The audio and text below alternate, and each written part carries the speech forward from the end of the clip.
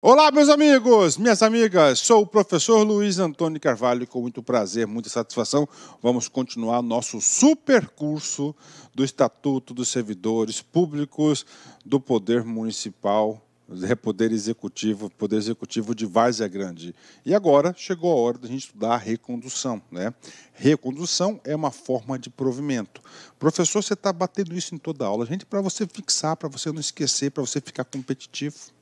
Quatro R's ANP são as formas de, de provimento.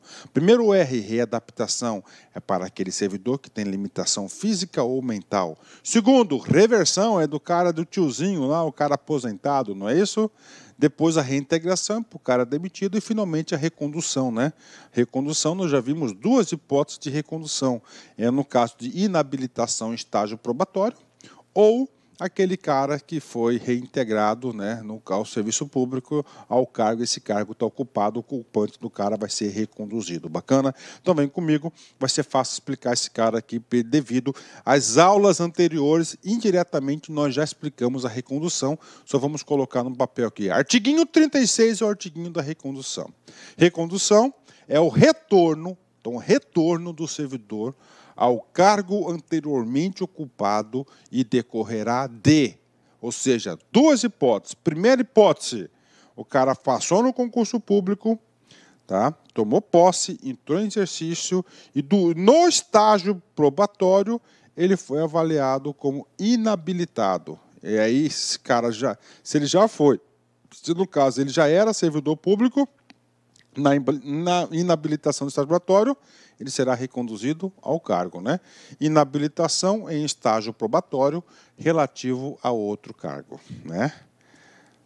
Dois, reintegração do anterior ocupante. Né?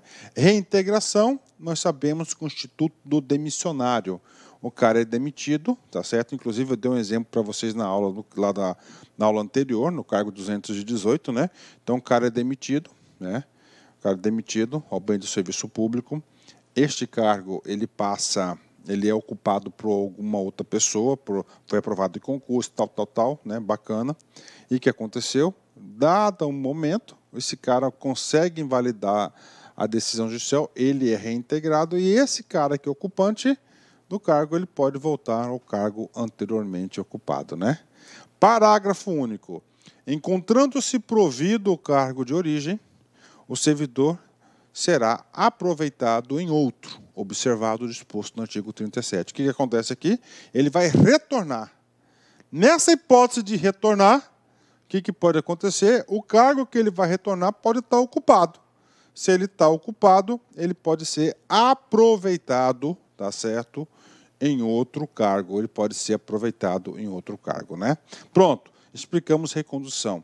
E aí, professor? E aí eu tenho que passar um assunto muito importante para vocês, porque eu tenho certeza que vocês vão passar em vários concursos públicos, né? O que, que acontece? A gente muda, a vida dá voltas, a vida dá voltas e voltas e voltas. Você foi lá, fez um concurso público, passou, foi estabilizado, bacana. Aí você, aí você quer ganhar um pouco mais, você faz outro concurso, mas você gostava daquilo que você faz. Aí você foi lá no outro cargo, tá? Você foi habilitado no estágio probatório. Aí você fala assim: não, mas eu quero voltar para o meu cargo anterior. Aí tem um julgado aqui muito importante ó, da recondução. O servidor estável também poderá ser reconduzido caso desista do estágio probatório. Então, durante esses três anos que você está lá em estágio probatório sendo avaliado, se você desistir, você poderá ser reconduzido ao cargo anterior, desde que seja estável no cargo anterior, né? Aí todo, então aqui é um julgado para vocês aí muito importante. Não sei se vocês vão fazer uso disso, mas se não for, já está aí a dica até para você ter esse conhecimento, né? Opa, beleza, pessoal? Inicialmente aqui eu peço licença a vocês, pois interrompi seus estudos. Mas essa videoaula é uma videoaula demonstrativa do nosso querido site lá Concursos, para você é, se deparar, né, deparar com a qualidade, com a seriedade, com a profundidade do nosso conteúdo. E eu aproveito o momento para fazer um convite especial. Cara, se você gostou dessa videoaula, se você quer o material, você quer assistir é o restante dessa videoaula e muito mais, nós temos aqui um combo que nós preparamos para a Guarda Civil Municipal de Várzea Grande, que nós chamamos de legislação municipal focado lá na Guarda Municipal.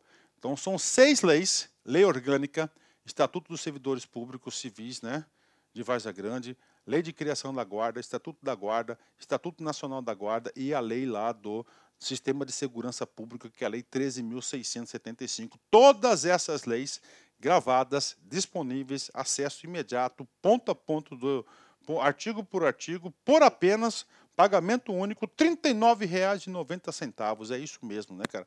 R$ 39,90 aí é um preço aí bastante convidativo. Qualquer um tem condições aí de fazer esse investimento e pode ter certeza que na sua prova de conhecimento específico são 20 questões. Dessas leis aqui, acredito que caia de 4 a 5 questões, né? Você vai sair na frente do seu concorrente. Bacana? Forte abraço, fique com Deus. Tchau, tchau.